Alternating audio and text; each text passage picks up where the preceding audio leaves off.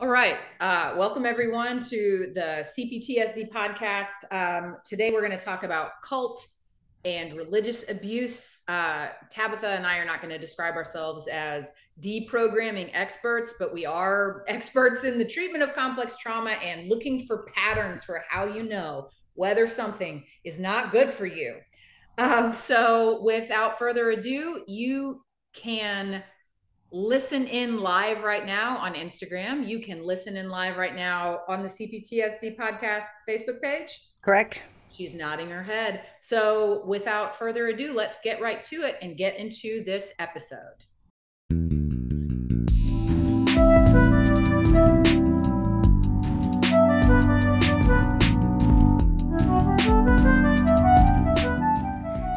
Welcome, everybody, to season two, episode four, which is so exciting to say, of the CPTSD podcast.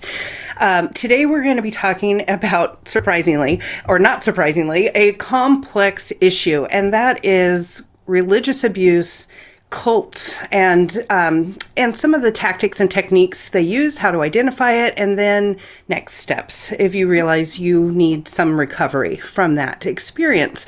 So, uh, a couple disclaimers. The first is, as Beth was saying in our intro intro, we are not experts in this. There is a lot of um, support provided by people who are experts.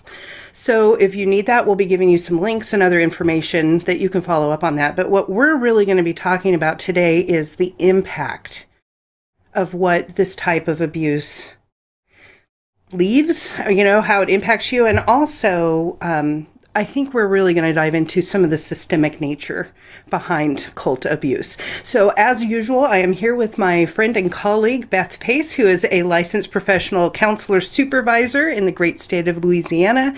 I am out here in Oregon, also licensed professional counselor, licensed marriage and family therapist, and I do supervision as well. Um, Beth, do you want to start us off with a couple of ideas? Um, also, I just want to say super quick before you dive in that this came to our attention because somebody requested that we talk about this. So if you have a topic that you want us to put our two cents in, please go to the cptsdpodcast.com and fill out the review form there or the questionnaire form there, and we will do our best to address your concerns. We also are creating an email list, and uh, we're at the very beginning stages of that. So if you think you might be interested in getting more contact in your inbox from us, go ahead over to the cptsdpodcast.com and sign up there there for that.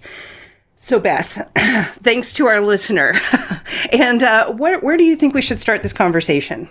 Where I actually want to start this conversation is we're not afraid of making people stretch and asking people to stretch, but we're also not here to bash religious people.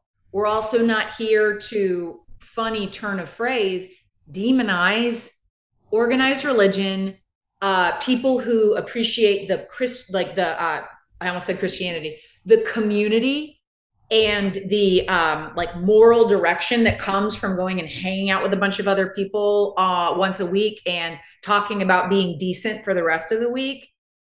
I would love it if there was more of that.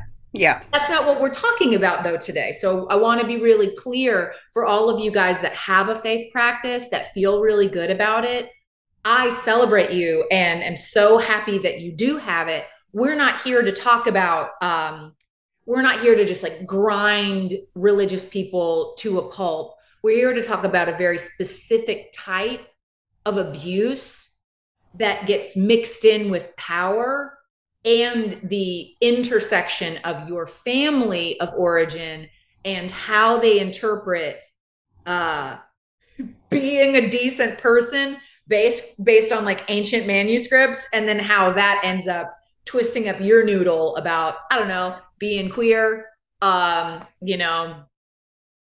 Having value all that crazy stuff. Tabatha's funny y'all but you knew that. Yeah. so yeah so where i would i want to start is i want to say I'm not here to bash religions. I know a lot of really decent, lovely um, religious people. One of the first people who ever opened my mind to this idea that, like, uh, having a relationship with the God of your understanding is supposed to feel like being loved mm. was hmm. Catholic nun who became a nun when she was 18. By the time I met her, she was like in her 60s. Um, and I could just, everything I felt coming out of that woman was like, God loves you. I love you. God loves you. You are so good just the way that you are. Uh, may she rest in peace, uh, Sister Marcy Romine. So I don't think there's anything wrong with people who have a religious practice and who are using it to be decent. And again, we're talking about abuse, manipulation, gaslighting, all the the standards and practices for how to use you and then tell you that if you don't like it it's on that's a you problem right and you'll be punished right all right so i'm i just want to put my two cents in beth that i agree i think religion has been used beautifully throughout human history for community and for direction and for enlightenment and i also think that it has been used horrifically. Right. And it's the difference between the intent and the purpose that we're talking about today. Yep. Mm-hmm. And so, if it's cool with you, what I really want to start with is, you know, and not to go too long on that because I just realized, you know, how I feel about time. Yeah. Um, I don't have a I don't have a watch in front of me, which of course means that I'm like stressed about time. Uh, so uh, we're gonna try and keep this under an hour today. Uh, I say that I think every week. But let me start very briefly with human history and kind of what we're like. You can use religion to go to another place and justify taking their stuff, um, subjugating and enslaving the people who live there, and then calling it bringing the good word of like um, the bringing the truth the truth to who needs it. So um, I've said this before. I think I said it uh, when we were doing, you know, systemic racism and how that that is a CPTSD creator in the absence of, you know, a, a traumatic upbringing in your family of origin. Similarly, um, to go somewhere and say, "I'm doing God's good work," by crushing you into fitting um, our mold of what is goodness, what is rightness. And monotheism works a treat for that. Because if sure you're a theist, you show up and you're like, oh, cool, you have a different God lit. That sounds really nice. And then you find out about that God and you're like, oh, yeah, that's pretty cool. Yeah, we kind of low key worship the sun too in a different way. But if there's only one true God and it's yours, then when you go to a new country, you can be like, oh, paganism, you are So you're worshiping the wrong ones. So then it's okay for me to hurt you, crush you, or, you know, slyly get you over here because maybe I'm going to ask you to like invite this one particular God into your heart. That doesn't seem like a major commitment from you because you like have lots of gods living in your heart. You're like, yeah, sure, no problem. This one too. And this is the one where it's like, and then when you don't do what we think this God wants you to do, woe betide, punishment comes. So historically, from like a human history standpoint, um, settler colonialism, it doesn't actually matter who's doing it. I mean, European supremacy, white supremacy is the most obvious and salient example of this. Uh, but go anywhere else in other countries, it, it's easy to go repress someone using religion. So there's a there's an ancient human historical aspect of twisting up religion for your own really nefarious and dark uses. That's my my primer, if you will. It's a great primer. And I mean, really, I think the point, I want to underscore is that when you are going out with your faith, to connect with other people because you love them and you want to support them with zero agenda, that would be an outpouring of pure and good religious foundation. When you're going into an area, whether it's just a group at, at your school or your work or wherever you're wanting to impact that with the idea that this is for their own good, there's a lot of power. Like, I'm doing this for you, I'm abusing you for you because you don't know how to make good decisions yet, but right. I do. right? Because I have the ultimate truth. And there's only one truth. It's handed down from a divine being that we can't even fathom, let alone feel like we're connected to all the time. And so you're going to be doing things our way from here on out. Yeah, even better if you can't read, right? So then I can tell you right. what the ancient, you know, scriptures uh, have to say. So yeah, you know, I don't want a Christianity bash. Ooh, it's so easy. It's such like it's such low hanging fruit because like I want to go somewhere, but let's come back to then how does uh, how would you define cult or religious abuse maybe more in present day? Even though most people who are going to be interested in this or send it to somebody else and be like, you should listen to this, already know. They already know that this is something they experienced. But right. let's imagine that there's one person who's like, oh, could it be me? How and there are. Would you, yeah. How would you define that, Tab? So um, I'm happy to define that. And the first thing I would like to say to our audience who have already listened to our last episode, and if you haven't, go back and listen to the content we put out around narcissism because you are going to see a lot of overlap with what we're talking about right now. The foremost, like, telltale sign of a cult or a cult leader because not all groups are cults, but then a leader can come in and usurp and take that group, right? That happens a lot. Um, is that there is a, this authoritarian approach that we've been talking about. It's my way slash God's way or the highway, or I have special information that you can't possibly understand, so I'm in charge here. So when there's no flexibility, no room for input, it's a warning sign to keep looking for other telltale signs that might be there. And the next one that follows that is zero criticism. Cri- sorry, I'll get the word out. Criticism, zero critique, zero challenges are allowed in the group. Mm. And when it's religious, that's even more powerful and oppressive because it's not just this person saying you're not good enough and you got to do it my way, but they have the authority of God behind them it's overwhelming for most people. And let's remember, as I'm paralleling to narcissism, that not all narcissists, uh, not all. Not all, I'm apparently excited about this topic today. Not all narcissists are grandiose, bigger than life figures. Many are, but some are covert, right? And so there might be some subtleness to the things we're talking about today. So just keep that in mind. I think another really important thing to talk about when we're talking about an organized cult, like, you know, when we imagine people being rescued from that type of cult, is that there is rarely any financial disclosure about no budget information. Like, you have to give money, but you don't know what's happening with the money. Yeah. Yeah. And that is a huge oppressive power. Right. And one of the ways that cult leaders can really keep people enmeshed into the group is by creating a large experience of fear of the outside, whether it's your family of origin that you're not supposed to talk to or whatever, whatever it is. The world at large is bad and will hurt you, so you need to stay here with me. If you're starting to feel like you're not allowed to go out to experience other things, or you're finding that your fear is increasing, and you may call that awareness that might be something to check into. So those are some big signs. There are more, but those I think are the really biggest. Um, oh, one more to add. If somebody leaves the group, they are demonized, punished, excised, whatever the languaging is used. But not only that, but then they are used as a negative example to the group. And we don't want that. I mean, there's like internal human drives that keep us from wanting that. So it's another way to lock you in.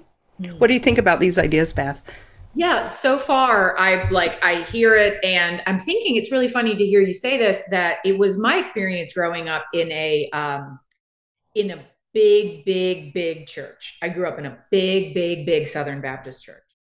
And so we are going to talk about religious abuse and cult abuse because they are not necessarily the same thing even though there are a lot of commonalities because yeah. big mega churches you know do. Some of them don't financially disclose in ways that are you know ethical but a lot of them do. So yeah I'm, it's going to be interesting to talk about the nuance between the two of them. The other thing i want to um i want to add to what you're saying is if there was nothing good if nothing felt good about it you know, if you went out on a date with someone and on the first date they like flipped the table, screamed at the waitress, and um, you know, pinched you on the arm in front of everybody, you'd be like, "This is nuts! I'm out of here."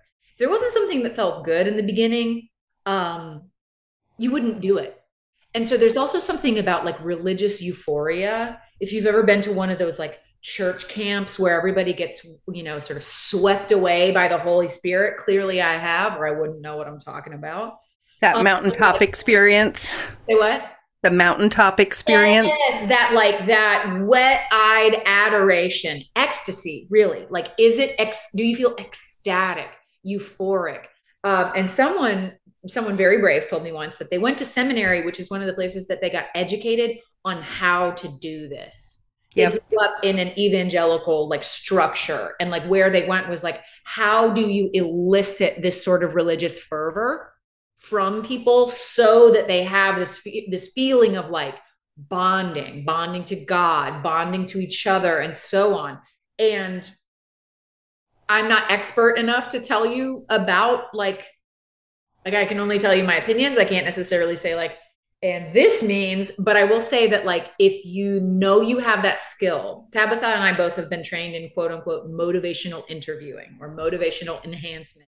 But uh, depending on which side of the desk you're on, uh, it's just manipulation. Yep.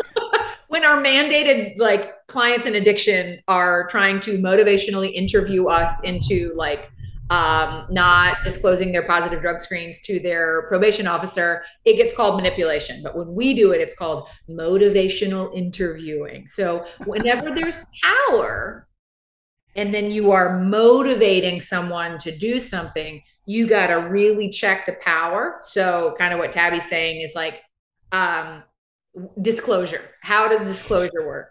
Um, but yeah, if there wasn't, we as as human beings are seeking connection we love it. It feels good for us. And then if we've got folks who are like, ooh, I know how to elicit a particular type of like euphoria, uh, ecstasy from being in this group, um, it's addictive the way that intermittent um, reinforcement cues up your dopamine release more so than does getting goodness every time you need it or you ask for it. So that's my that's my addition it's perfect because you're the the use of intermittent reinforcement which is what you're talking about is really a high level manipulation tactic right i just just want to also say I was raised in evangelical Christianity, and um, my experience, for the most part, with people was really good. There were a lot of people at my church growing up who loved me, right? Now, it's also manipulative because of the way it came down in my family of origin. It was used as a hierarchy, right? But where I wanted to go is I was very immersed in evangelicalism until, and again, this isn't Christian bashing. You can find this pretty much anywhere you look. This is just my experience. Um, I was on worship teams, right? And we were taught here's how you arc the music so that people warm up to emotion, have a big emotion, and then release emotion and feel settled. Now, when I was taught that, I fully, full heartedly can say the person who taught me that wanted to help people have a loving, religious, community worship spirit. The intention was so solid behind that teaching. And this is systemic oppression built into religion where we're doing it to each other and we don't even know it. And so while individuals can be innocent, the system is not innocent. Okay. Oh. I know, and I think I need to pause and sit with yourself and like like absorb that myself. like, yeah, you know, we got raised we got raised in like evangelical Christian place, and we're both like, and we're therapists, and we're like, and we have CPTSD. Really does make you think. Um, so I so when you're saying it's not just religion, it's not just like we also i think um, one of the things that we're evolutionarily wired to seek if we didn't get it somewhere or we didn't learn that it's inside of us you know spoiler alert, we're going to talk more about that later in the episode today, is we're seeking an authority because it's very safety creating for us. So, so um, you'll hear, or I have heard a lot in my own clinical practice, people be like, where are the adults? And they really want there to be good, healthy, securely attached people who like have life experience that they can supporting like lovingly supportively share with other people. So when we're talking about cult slash religious abuse and i'm going to say it and you know i'm also not i'm not 12 step mutual support bashing either because if you have ever heard any one of our podcast episodes before you know i'm always like go find a mutual support meeting. Go get into community. But you know where else is a really um uh, like right uh, hunting ground for predators is places like AA, is places like uh, recovery support meetings where newcomers are lost and they're getting language very similar to uh, religious doctrine, which is like, there's a right way to think and I'll teach it to you. Ooh, instead of the longer you the longer you get to know yourself, the better you're going to be able to tap into touch your own authentic wisdom, which is going to help direct your path in this lifetime. There's a big difference between the one and the other. If you say it that way, but it's real subtle and it can sound real similar. And I was in mm. a train once in um, in Taiwan, and there was this big sign on a building that was like, "Mothers and fathers, protect your children from Tibetan Buddhism." And I was like, what? No, they they they're the good guys. They have to be the good guys. But I've got my phone with me, so I start looking at like the allegations of sexual abuse, the allegations of misconduct. That like whenever some whenever there's a hierarchy, and the more high the higher up you go, the more powerful you become. You can get addicted to the power. You can really believe that no matter what you're doing, um, you're doing God or the Buddha or you know whatever their good work. Um, someone told me once that they their parent uh, had been in, in AA and been sober for like buku big time forever years, like long time, 23, 25 years. Had a ton of sponsees, which is to say people that they helped direct their path, didn't have their own sponsor, wasn't in their own therapy this idea that like now that I've arrived somewhere wise, I can tell you everything about how to be humble, but I don't have to do that because I don't need to be humble anymore because I am a direct channel. God is giving it all to me. And that's where people like that start to get dangerous. So there are there are people and I'm I'm I'm going to wrap up. I know I've been talking for a while there are there are women in particular, people who are socialized female or who are trans, who are queer, uh, or who are just highly trauma impacted that will describe their experience of like going to AA or going to mutual support meetings as being groomed for abuse. And I would say they were right. Yeah. I just I just got excited when I raised my hand because there is a current documentary. It's just a couple months out, um, and I've watched the first two sessions. It's called The Deep End. It's on Hulu, and it's about a huge influencer, uh, spiritual influencer named Teal Swan. And I have had opinions about Teal Swan over time, you know. But if you want a nice, like if you need to binge a little bit of story to understand what we're talking about, I would recommend watching that. And also, I'm so sorry, Lisa Remini, but I can't remember the name of the series that she's doing about um, Scientology. And so there are just, there are some really good documentaries right now so that you can go look at if you're visual or auditory focused. You can go watch the smirks on their faces that are, I gotcha smirks from narcissism. You can go watch the way they use the group to punish an individual for not complying. So that might be one way to do that for yourself. But I also wanted to point out, yep, AA, yep, all religions have the potential for this, all, because pe- people are in all religions and that's who does the damage is people. Also, multi-level marketing 100% culty. Pay attention to that, right? Especially the shame cycles. Also, politics. That's going on in America right now. And I'm not going to dive into that because we have a lot to talk about. But this is religious abuse is not just about organized religions, it's about organized groups that use the hierarchy of religion and shame cycles to keep you stuck and to motivate you to do things for the group, not for you. All right, that was my soapbox for this like little segment. Um, I'll, I'll also add uh, it's a it's tough to watch, but um, gives gives you more. Um, it's on Netflix. It's called Keep Sweet, Pray, and Obey. Uh, trigger warning: there's there's child sexual abuse and like sex trafficking in this docu series. Um, I did watch it, um, and now now I think it would be good to talk about kind of like the patterns of abuse and how this sounds, especially as it relates to like your own family of origin.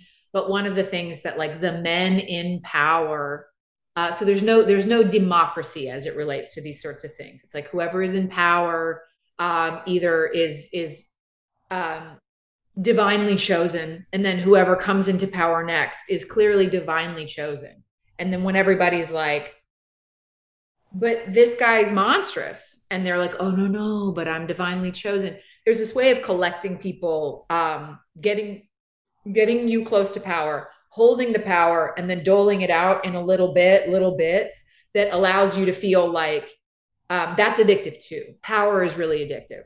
And the idea around keep sweet by by this uh, the language of this religious group um, is don't become overly emotional. Don't get angry. Don't talk back. Don't stand up for yourself. So when and if your gut is telling you something um,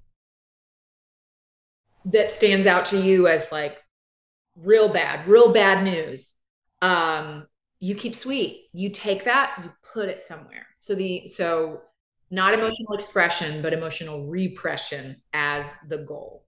So have we defined cults? Could we define cult abuse as a as a beginning? I think so. I mean, I think we gave the the top indicators of what a leader would look like, and that is important because that's where all the information from a cult comes from, right? And so I think the way you just said that, Beth, was excellent. So where do you think we should take this conversation? You know, for our listeners. Yeah, I actually would really like to now add religious abuse in a family Oh, so, please, let's do it. Church, the church might be sounding one way, or your parents may have chosen a particular type of church because it sounds that way. Okay. Yep. So the sin, the shame, the hellfire, the brimstone, the rededication of your life to being good. I could never wrap my mind around that. I was like, yo, I mean, if I got quote unquote saved and I got baptized, and then I was like, for sure going to heaven on the other side of getting dunked, then why do I have to be sorry all the time if I'm for sure going to heaven because I got dunked?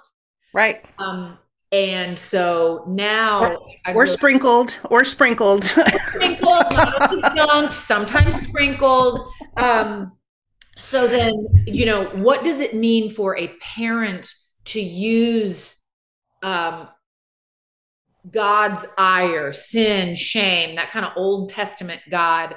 Because um, obviously, I'm talking about Christianity, and that because that's my experience. But uh, I'll really try to stay away from um, keeping it getting too too too specific there.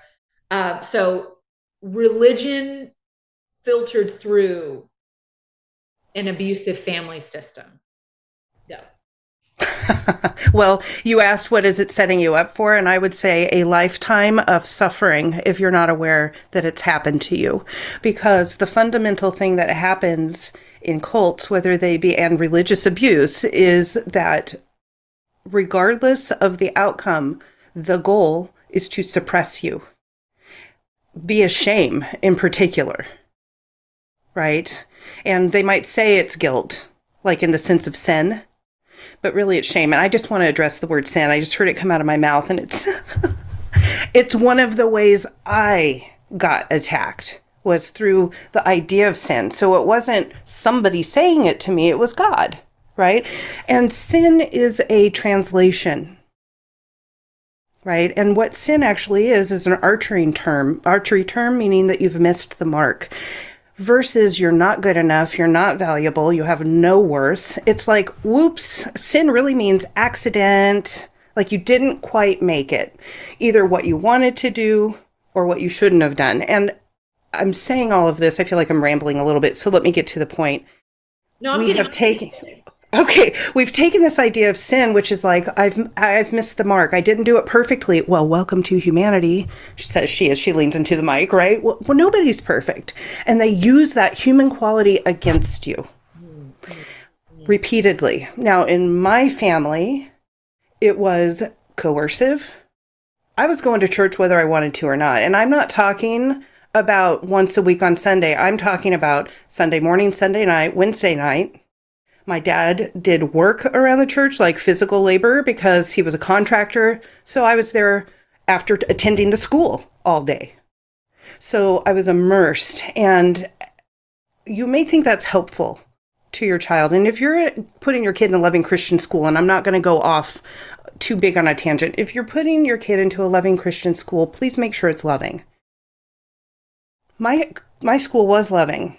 But here's an example Oh my gosh, I'm feeling a little vulnerable, but I think I'm going to share it. Here's an example of what religious abuse looks like systemically. So I'm adorable in my sixth grade year, right? I've got my puffy jacket on. Those were totally popular. My hair was so cute because my uncle had gotten his hands on it finally. Um, we can talk about my uncle another time. My dad walked me into my classroom before school even started, first morning. We got there early so that we could have privacy. Right? And he told my teacher, if she disobeys you, you have my permission to spank her. The teacher, I may be making this up now, it's been so long, but in my mind, the teacher's face was like, what? right. That let me know I had no rights. He wasn't going to support me if I had a problem and I'll be hurt if I get out of line, whatever that is. That's just a real quick snapshot. Now, a lot of people might say, Your dad was just saying that he supported the teacher and he was giving him authority. Mm. And I say, BS. That's not what it was. That was keeping me down. My teacher already had that authority, not to hit me, but you know, Okay, that's my story. It's a really good snapshot of what a little piece of covert spiritual abuse can look like. Well, you also know your dad, right? Like we've we've talked in past podcasts about like that look in his eyes where like he knew he had gotcha.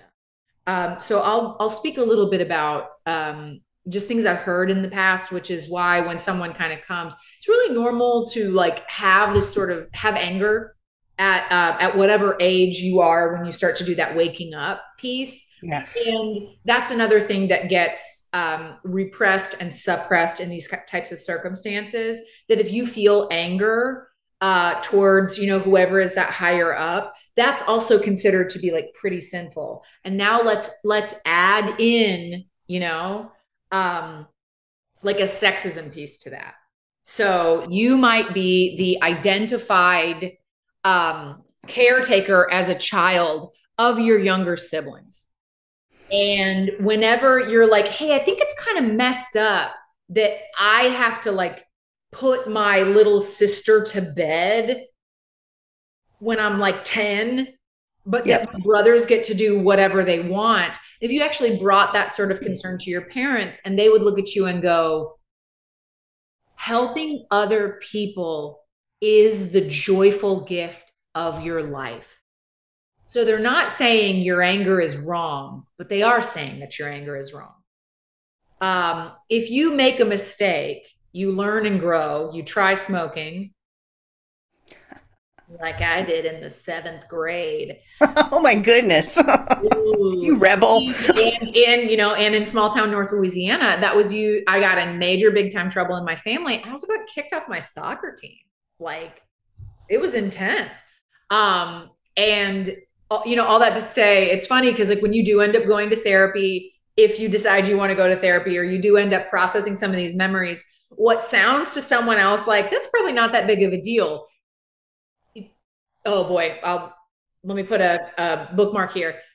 If it mattered to you because it was like a it was a moment where like you couldn't just be like learning and growing and making mistakes and someone told you that you were sinful, shameful, um, and gave you like extreme consequences for you know a reasonable size you know life mistake or or life choice at, as a, a small person um it matters. So many times my cptsd clients will be like this is not big enough to like i this messes me up. I think about it all the time and i'm ashamed and embarrassed of that instead of yeah it mattered because of the grand theme of what your upbringing was like. So all of that to say when that happened to me it was like i can't even look at you. You have let me down. You have let this family down. You've let god down.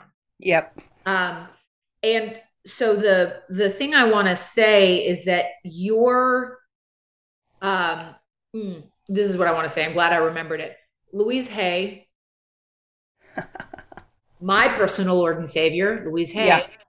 um will say in her book, which I think is really touching. I can't remember who she references, but this uh, like woman, I think maybe she's a psychologist or a psychoanalyst. Her theory, um, and I want you to think about this for a moment, um, is that three, three years old is is prime time for this. Three and under, your concept of God is indistinguishable from your your parents, from your concept yep. of your parents. So if your mother is overbearing, smothering, scary, um, emotionally withholding, and then you know wanting like super invasive, that's what you think God is like. Or if your father is punishing, vicious, always looking for what you messed up on so that you're in a state of like heightened like hyper vigilance all the time you you, that's your concept of what God is like. And so then if yep. these people are also like interpreting to you, this is what God thinks, this is this is what God wants you to be like, and they are the people who you're essentially projecting um, your parents' worst qualities onto God. Asha Clinton in the um, in the True Origins Protocol, there's a part uh, in Advanced Integrative Therapy. I'm sorry, I'm speaking shorthand to Tabatha. There's one of them in the true origins protocol that's like one of the true origins of whatever is the traumatic issue is my projection of my parents worst qualities onto god because i th- these people are in indistinguishable. And louise hay is a very short example which tickles my funny bone every time i hear her say it is if we're just this minor like little planet around a minor little star in this minor, you know, galaxy in this major, massive universe. The God of, of my understanding, or the God, the higher power of Louise Hay's understanding, is too big and too awesome to be spending all of their time staring at this teeny weeny planet, staring at you caring a whole bunch about what you're going to do with your genitals. Every time she says that, it makes me laugh. Yep. Because she's like, so then if this God is awesome, created the heavens and the earth, what are they doing being so petty as to care who you're having sex with? Miss or how? Or how? and if we got created in God's image, why did God give men a prostate? and if we were created in God, God's image, aren't we all okay right now?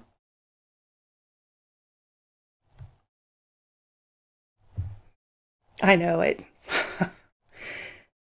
you know, blown. A bird, we will blow your mind. Um, we are so then recovering from this. Tab, what does that look like? Well, if you are, I think it looks different for every person, but there are some trends. Right. But I want to go back real quick, Beth, and say that um, I took a great class in my grad program called Images of God. And the purpose of the class was to help us as, you know, these new upcoming clinicians understand that spirituality is in people whether they know it or not. And this is, and whether they want it or not, because spirituality is about who you are, what you're doing, what's purpose, what's your intention, what's your goal, how do you move through life, right? It's not about one answer. Um, anyway, and so we can do it however the heck, that was an immediate censor, however the heck we like. We can practice spirituality when we get these images of the divine in us, because at three and under, we're still fairly nonverbal we're trying, but we're coming up with words. We're starting to construct sentences and paragraphs, right? We not only install the projected of God within us, but we also install and what is our relationship to God? And I mean, Buber talked a lot about the I thou relationship, and this is the key issue in all personality disorders, I think it's a key issue in post traumatic stress disorder, especially from childhood, that who you are in the context of who God is is really important. And so there is going to be a bleepity bleep ton of grief that you experience. And I really am saying that I'm hoping very directly so that you begin to prepare for it because even though you know that's probably true, it's going to go deeper and hurt a lot more than you might think it will. And it's still worth the work because that's where the freedom will come from. Right? So the first thing is specifically if you are think you're in a cult, if you think you're in a cult, find expert help. because if it's a true cult, they're not going to let you go. Right. And that is a safety issue right? So, um, especially if you have given money to that cult, in in any terms, but large sums of money, they really will not let you go. So, if you think you need out, find an expert to help you. Um, I'm looking right now at culteducation.com. There's a lot of information here where people can just, you know, go get their toes in the pool. If you're talking about what probably most of our viewers and listeners are going to experience, which is recovery from religious abuse, the first thing I would say is find a therapist. And I'm going to say that for everything we ever say on, this podcast because therapists are trained. Here's here's why I like therapy. And again, I also like coaching this is pretty intense. So, unless your coach is a specialist with some kind of certification that I'm not currently aware of, please find a therapist because of two things. Number one, we have a ton of education and experience. Most of us have to hit 3,000 hours working with clients before we're licensed, somewhere in that ballpark. But secondly, and this is really important for your safety, emotional and spiritual safety, is licensed therapists are held accountable for their behavior by boards. Coaches are not. So again, I'm not slamming coaches. I have a coach right now. right? But but for this, you want a therapist. You know, and I'm actually going to um I'm going to I'm going to disagree with you. okay. And here's why. Um because I believe that we suffer so deeply in having complex post traumatic stress disorder or like having anything, an addiction, CPTSD, codependency, whatever. Part of the programming, part of the misery is I am terminally unique and no one can help me. And what I'll say to you is if you if they're safe, which is not always the same thing as well trained, people who go to years of seminary and have PhDs are well trained doesn't necessarily make them safe. So the garbage man can hold space for you if they are a safe person and you and they're not going to hurt you. They don't have an agenda. So when I say hold space, like I mean can can handle being around your anger, can handle being around those feelings of despair, understands um, you know, my new kind of interview question for anyone that I want to work with usually sounds something like, and where is your spiritual center? Meaning that if I want to come in and talk about like God, the, God of my understanding, you know, whatever it is, my spiritual life, I don't want you to sort of roll your eyes and tell me um, that that that's not uh, that's not clinical or that's not you know whatever it is so the reason that i um the reason i disagree is because there may be someone who went through what you're going through who is equipped to um to help you. And and if your noodle is totally twisted up right now and you can't trust yourself and you don't know how, then Tabatha's right because you do actually need someone who is emotionally very re- not emotionally removed but like understands where they stop and where you start to help you. So then that way you don't get you don't get sicker because they're not um, they're not equipped. Because i'll also tell you there are a bunch of codependent not so healthy uh, clinically uh, trained mental health therapists who get all tangled up and then the power differential shows up anyway uh, i can't of note a client of mine years ago was like i loved my last therapist but we ended up talking about their daughter's wedding all the time and i couldn't say to them we got to get back to me because i didn't want to hurt their feelings and so yeah. i was paying the money to go listen to them talk about their daughter's wedding because I didn't know either know that I could report them to their board for that. And I didn't feel comfortable remotely standing up to this authority figure that I loved. So in in one of my you know in my interview and intake with new clients, I'll say you deserve the right to understand how to file a complaint about me, how to make a grievance, and and to know that you can do that without any fear of reprisal or retaliation, so that we keep the we keep the nature of this relationship egalitarian. I work for you. I'm not I'm not your not your servant, but I work for you. Right. And I'm also not the one with all the answers. And I think, Beth, um, I really appreciate you disagreeing because that's the right thing to do. But I do think we might have also been talking about two different things. Because if you are just now waking up, I agree with Beth. You find whoever you can that is safe and then proves they're safe. Right? And when you start really unpacking, especially if this has happened from childhood up, when you start unpacking the deeper trauma of that, interview therapists. So, I mean, I, I, um, I think starting with a garbage man is also reasonable. You just need somebody to believe you. And that is the most important thing because you might be having a hard time believing yourself. That's one of the tricks of religious abuse. Yeah. Right. So, Beth, we've got about 10 minutes left. And um, I just want to add a side note there that if your therapist currently is only talking about themselves, I would highly encourage you to challenge that because they need to grow. Yeah. Right. and one of the things in this Teal Swan documentary that I'm talking about, like within the opening 20 minutes, is somebody was sitting in a group with her saying, um, I'm challenging you or I don't have to believe everything you say just because I'm sitting here. And she tore him a new one saying, You're not trusting me because I don't have a mentor, because there's no one above me. And inside of me, I'm like, And he's right. Yeah. We all need that accountability. So, we can start scooting into the wrap up if you'd like. I think one of the things that I would like to talk about is how do you know if somebody's healthy? And when we're talking about leaders, this would be a therapist, a coach, a new religion, whatever type of leadership.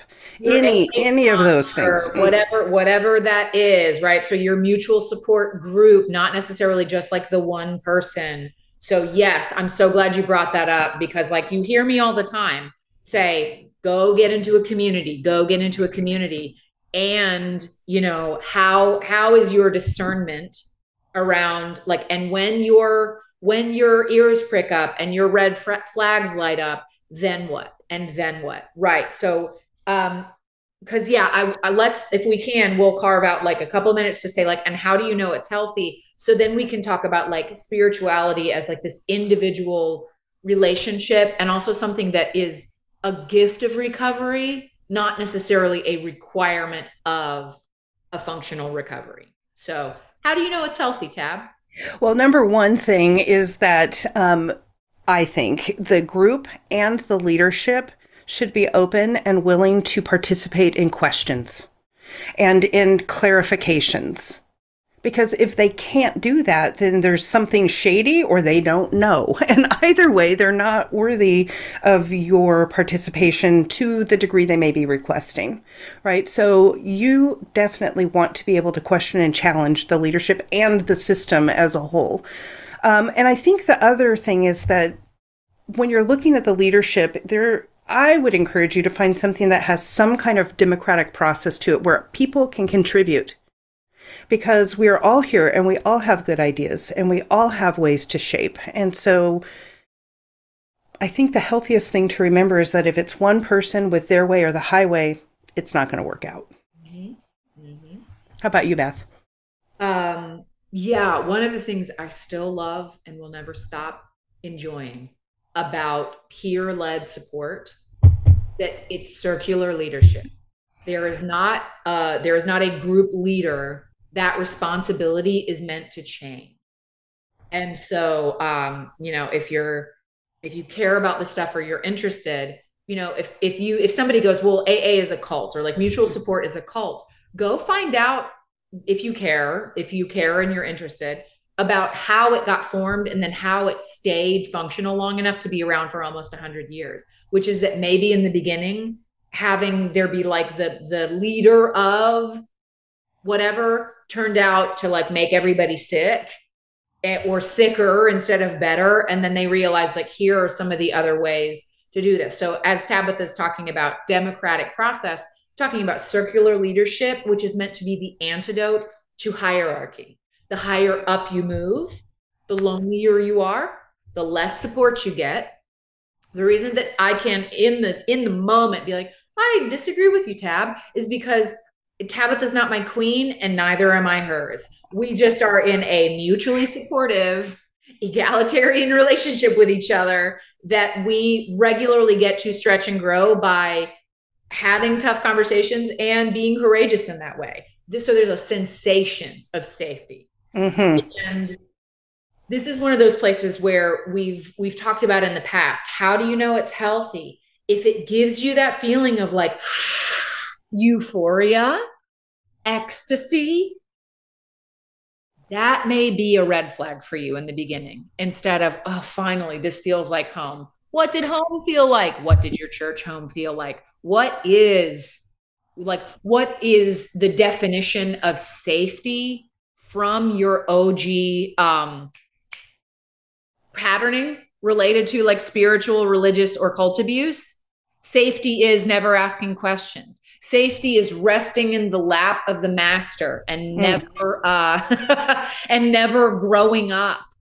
Uh, is staying childlike in your belief. Um, so then you get to operationalize what safety means in present day and then you can go do your interviewing well what does safety mean to you um, someone in in my life uh, is a is a long-term member of mutual support programs and told me recently that they went to a meeting and they were like you know what i hate about this place that the bar is so low for membership that all you have to do is be sober, like which is to say not using substances, and then you can come do whatever you want. There's a bunch of predators in this program, and I hate that. and that everyone that this is their expression to me, and that everyone in the room was like, "Thank you for sharing.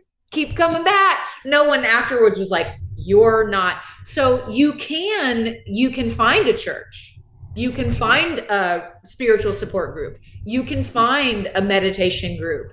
But if there's people that usually means that there is going to be a personality some personalities that um that don't jive with you or that collect people. And if this feels like ooh ooh ooh and it lights up that kind of trauma butterflies in your tummy let that be an alarm bell instead of like an invitation to just dive in headfirst yeah, um, I just want to second that. And I've been around a lot of churches from pretty much white evangelical through um, a beautiful black church here in Portland, Oregon, that was one of my favorite places to ever go.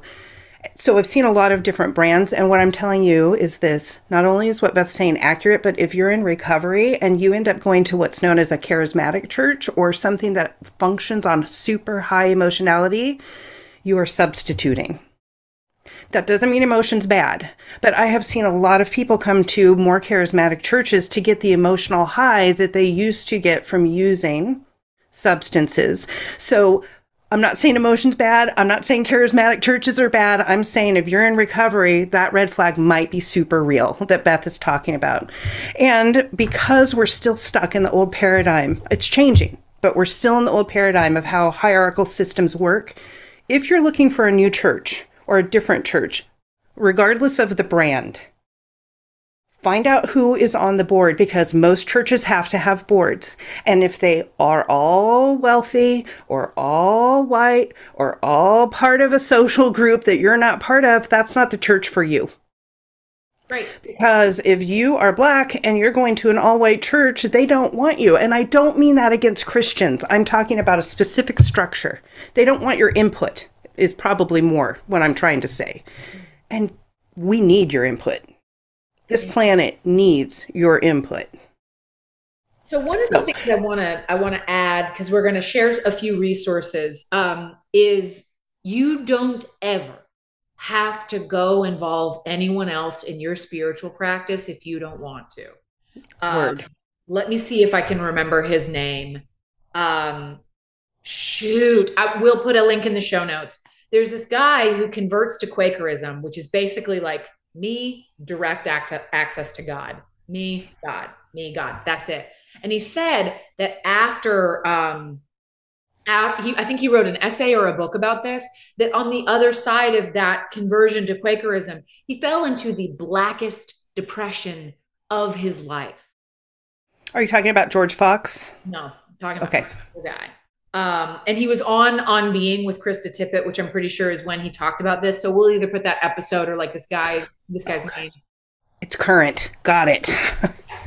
um, but that that feeling your emotional life is part of of being a spiritual being. That like us having the capacity to imagine something greater than ourselves was an evolutionary massive step for us as a species but you can have a spiritual practice that is entirely your own business and that you don't have to include anybody in it.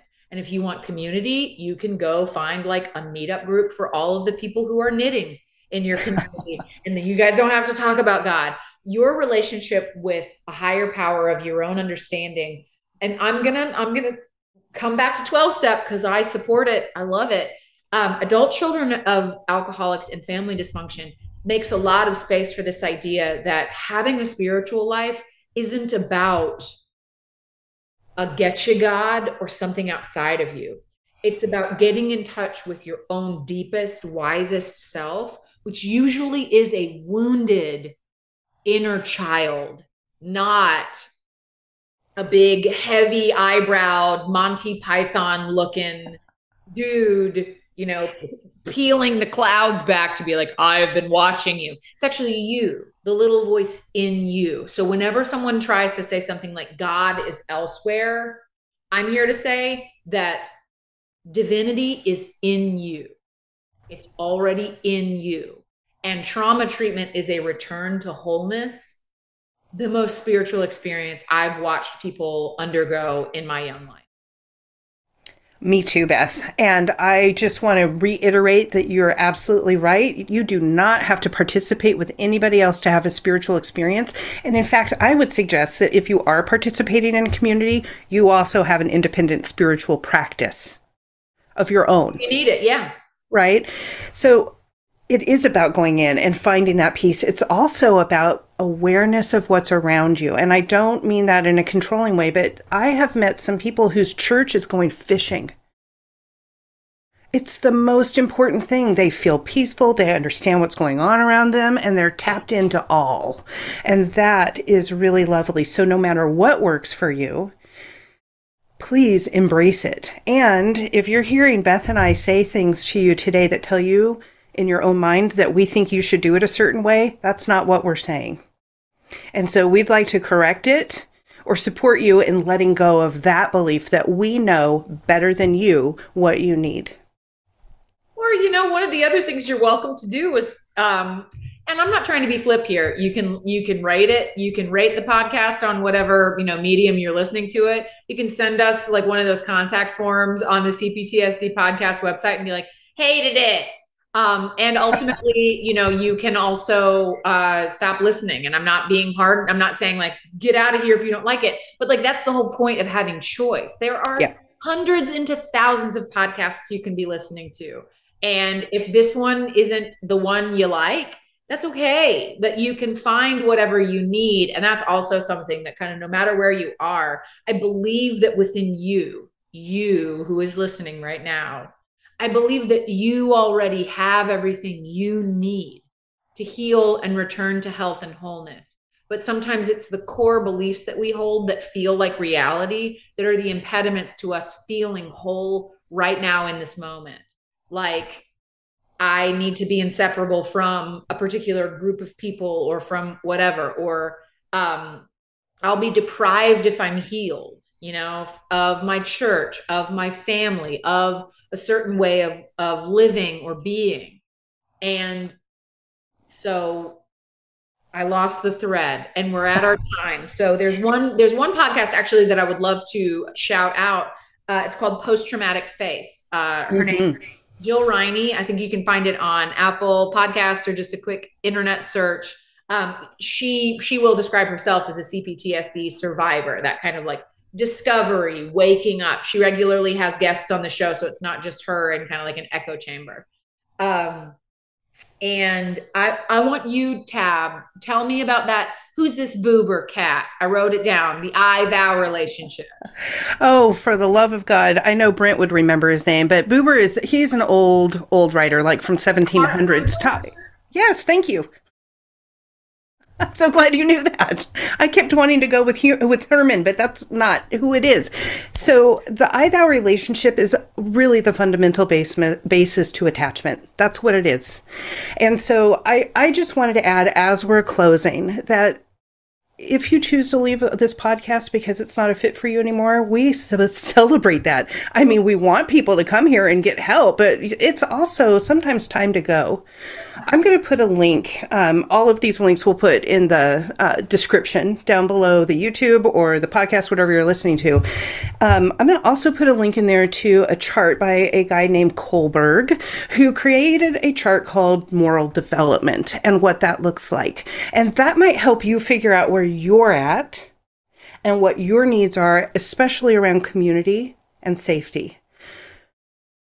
I'm going to wrap us up unless you have anything you want to pop in there, Beth. All right. We're so glad that you were here today. We have only begun to scratch the surface of this. And if you feel like you need more information, Google and TikTok have a ton of stuff that you can find. Just remember, it's not all good info. So put your thinking cap on. Um, CPTSD podcast can be found on Instagram and also Facebook. If you would like to join our free group, we have a group there where you can go in and just share ideas.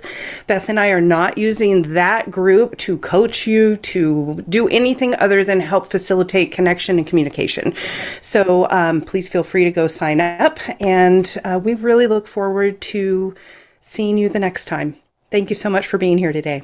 That's right. Um, you can follow us on TikTok. You can go to the Facebook group. You can go to Instagram. Uh, we're working on getting a little more like connected to you. So as that process happens, as Tabatha said, you can get your email to us if you want to be more connected. Um, and you know, this is not um, we're not we're not really selling anything. And if ever we are, we're going to tell you real clear in the front we have some rules and ethics around like what are um what is it like when you have a financial uh oh shoot you know what I'm talking about when you go to do uh like if you go to do a continuing education uh presentation and you have like a conflicting relationship where like you work for a pharmaceutical company, you actually have to like name it in the beginning. Tabatha and I take our ethics super seriously. We talk about the ethics of having a clinical license and having an online presence all the time. Yep. Um, so all that to say, we're so glad you came. If you stuck all the way through and listened to this, and for all of my um, all of my AA hating and my AA loving folks, this one's for you. All right, thank you guys for being here. Bye, everybody. Bye.